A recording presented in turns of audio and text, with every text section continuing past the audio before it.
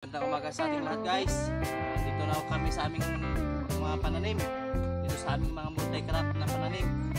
So yun guys, nagsimula na kaming mamitas ng talong.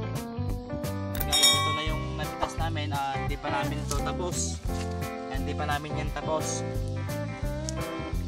Habang namimitas kami, meron din kaming kasama din doon guys na nagtatanggal na ng mga kahoy.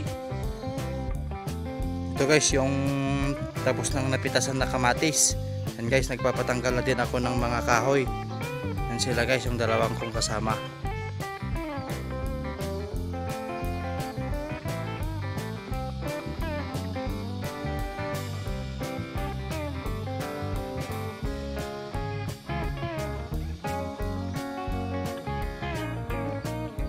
Ito na guys, yung mga bunga ng ating mga talong.